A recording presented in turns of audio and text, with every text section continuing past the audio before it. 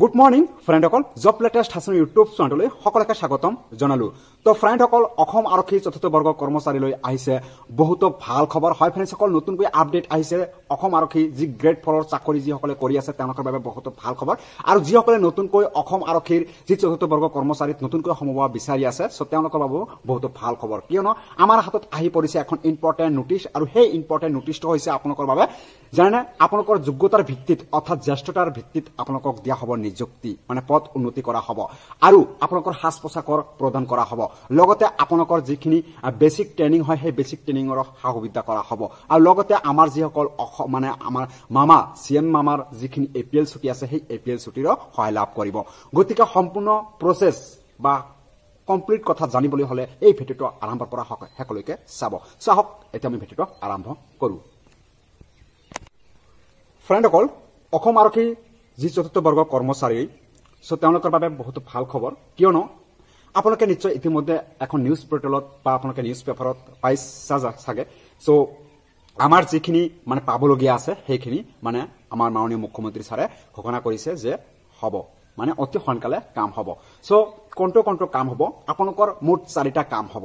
আৰু কমপ্লিট আমি আপোনালোকক যিখিনি নটিচ আহিছে বা আমি নিউজ পেপাৰত পাইছোঁ সেইখিনি আমি আপোনালোকক দেখুৱাম। চ' প্ৰথমে আপোনালোকৰ কি হ'ব জানেনে? আপোনালোকৰ যিখিনি মানে আমাৰ যিহেতুকে ক'বলৈ গ'লে আমি অসম পুলিচৰ যি গ্ৰেড থ্ৰী মানে কনিষ্টেবল যিসকল আছে বা চিপাহী আছে তেওঁলোকৰ দৰেই মানে সেই গ্ৰেড ফ'ৰৰ কৰ্মচাৰীসকলে দায়িত্ব পালন কৰি আছে। বা তেওঁলোকক ঘৰত যাব মানে যোৱাৰ কোনো সা সুবিধা নাই। যেতিয়া মানে ছুটি লয় তেতিয়াহে যাব পাৰে। বা আমাৰ কোনো ধৰণৰ ডিষ্ট্ৰিক্ট ৱাইজে দিয়া নাই সেই চতুৰ্থ বৰ্গৰ কৰ্মচাৰীসকলক। চাওক এতিয়া আমাৰ যিসকল কনিষ্টেবল বা চিপাহী তেওঁলোকেও ছেম তেনেকুৱা মানে হেডকোৱাৰ্টাৰ বা প্লাটনত এনেকুৱা মানে ঠাইত থাকে। গতিকে তেওঁলোকে এ পি এল ছুটিৰ সুবিধাটো পায়। কিন্তু গ্ৰেড ফ'ৰ যিসকল কৰ্মচাৰী আছে চ' তেওঁলোকে সেই সুবিধাটো নাপায়। অৰ্থাৎ ছেম একে একে ডিউটি কাম কৰি আছে। কিয় নাপায়? সেইকাৰণে আমাৰ মামাৰ ওচৰত সেইখিনি প্ৰস্তাৱ দাখিল কৰা হৈছে। আৰু লগতে যিখিনি আমাৰ মানে অসম আৰক্ষীৰ যিখিনি গ্ৰেড ফ'ৰৰ কৰ্মচাৰীসকল হয় চ' তেওঁলোকে এখন মানে কোনো ধৰণৰ সাজ পোছাকৰ সা সুবিধা নাই। চ' আজি যেনেকুৱা মানে ঠাণ্ডাৰ দিন আহিছে চ' সেই ঠাণ্ডা বতাহৰ দিনত কোনো ধৰণৰ মানে কাপোৰ নাই গৰম কাপোৰ নাই চ' গৰম কাপোৰৰ কাৰণে মানে এতিয়া নিজৰ পইচা দি কিনিব লাগে। যি দৰমা যি দৰমা গ্ৰেড ফ'ৰৰ যি দৰমা তাৰ পৰা আৰু ঘৰ চলিব লাগে মা দেউতাকক দেখিব লাগে নিজেও খাব লাগে আৰু বিভিন্ন ধৰণৰ সা সমস্যা আহি থাকে। গতিকে সেইখিনি হৈছে আমাৰ গ্ৰেড ফ'ৰৰ অৱস্থা মানে চিলাৰী কম। গতিকে আমাৰ চিলাৰীখিনি ইনক্ৰিজ কৰি দিয়া হ'ব আৰু লগতে আমাৰ সাজ পোছাকো প্ৰদান কৰা হ'ব। আৰু লগতে বেছিক ট্ৰেইনিংখিনি দিয়া হ'ব আৰু এ পি এল ছুটীটো আমাক দিয়া হ'ব। চ' সেইখিনি প্ৰচেছ আমি আপোনালোকক দেখুৱাই আছোঁ। চ' ভিডিঅ'টো স্কিপ নকৰাকৈ সম্পূৰ্ণ চাব। ভাৰ্তা প্ৰদানৰ দাবী।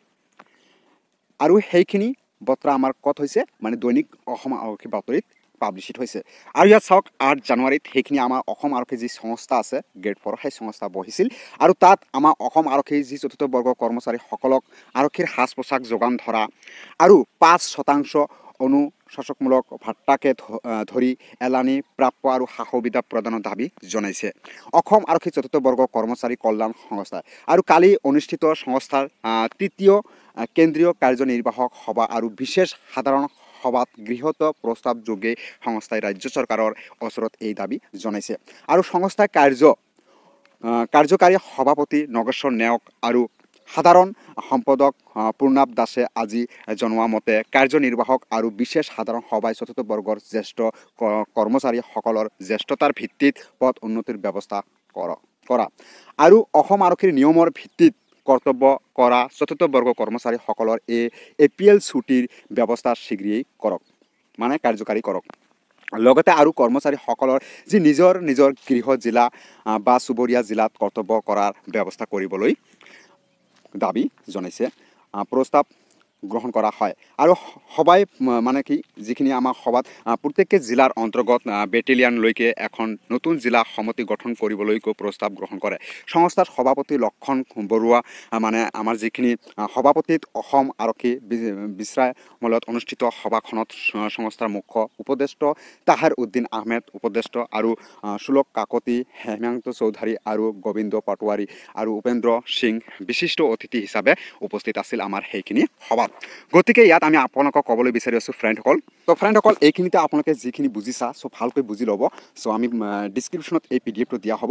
আৰু আমি লগতে আমাৰ যিখিনি দৰখাস্ত দাখিল কৰিছোঁ চাওক ইয়াত the hornbill chief minister of Assam চ' আমাৰ মামাক এখন চিঠি দৰখাস্ত দাখিল কৰিছোঁ আৰু আমাৰ ডি জি পি ছাৰক দাখিল কৰা হৈছে। চ' ইয়াত মানে ভালকৈ লিখা দিয়া হৈছে যে অসম আৰক্ষী চতুৰ্বৰ্গ কৰ্মচাৰীসকলক জ্যেষ্ঠতাৰ ভিত্তিত পদ উন্নতিৰ ব্যৱস্থা কৰক আৰু বেছিক ট্ৰেইনিঙৰ ব্যৱস্থা কৰক। অসম আৰক্ষী নিয়মৰ ভিত্তিত আমাক সাজ পোছাক এ পি এল ছুটি প্ৰদান কৰক। কাৰণ আমি যি চতুৰ্থ বৰ্গ কৰ্মচাৰী সকলোৱে বহুত কষ্ট কৰি ডিউটি পালন কৰি আছোঁ আৰু ছেম আমি কনিষ্টেবল অৰ্থাৎ চিপাহীসকলৰ নিচিনা আমি ডিউটি পালন কৰি আছোঁ।